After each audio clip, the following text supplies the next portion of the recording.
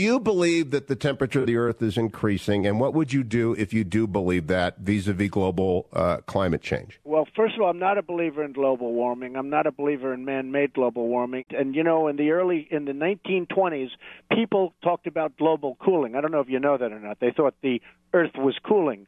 Now it's global warming. I don't think in any major fashion exists. I mean, Obama thinks it's the number one problem of the world today, and I think it's uh, very low on the list.